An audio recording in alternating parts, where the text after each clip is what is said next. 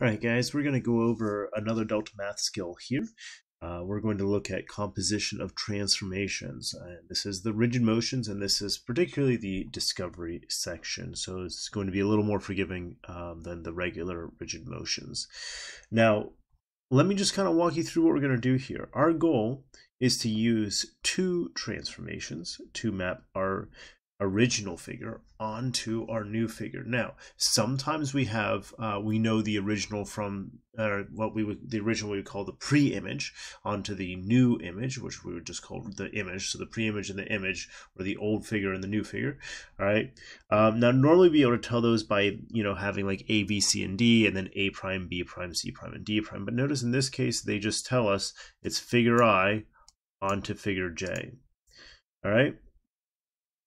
So what we're going to do here is we're going to do two different things. And the nice thing about this is they actually let us to let us try it out and then kind of make adjustments as we need to. So the first thing we're going to do here is kind of think about how am I going to get this I figure I onto figure J? And I think I would do probably a rotation of now notice it doesn't give us positive or negatives, but clockwise or counterclockwise. So I want this figure I to rotate up here, right? I want it to rotate up here. So um, we'll say 90 degrees uh, counterclockwise. So that seems about right.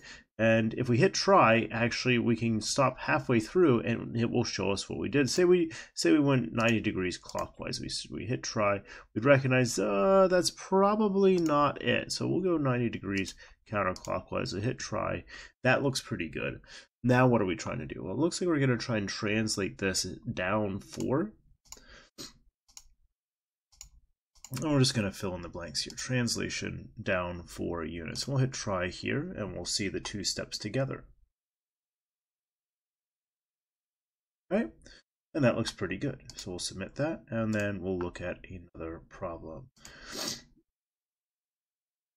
All right, so this one uh, doesn't look like I could like I could try rotation here if you wanted to, just like we did last time. We'll say uh, let's try 90 degrees counterclockwise, and we could try that out. But but notice we're not really facing the right way. So I, I think here maybe a reflection would be a better better um, idea. And remember, going across the y-axis would flip it horizontally, so it should look something like that. And that looks pretty good. And then we'll do a translation. Um, and then it looks like we're going down looks like down three units. Now, actually, in this one, I could have done my translation first if I wanted to.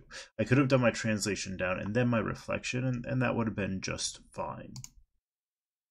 So there's my reflection, and then my translation. Now, there's no penalty for getting these wrong. They'll just give you as many practice attempts as you want under this discover since it's um, since it's listed as discovery. So so don't feel afraid to just try Okay, the big thing here is I, I, I, want you to try and see how it goes and, and kind of explore uh, without there being a real risk of getting them wrong or losing points or going losing progress. All right, so um, this is composition of transformations, and this is our Delta Math. Um, this reviews this Delta Math skill, so you guys should be able to do this on your own.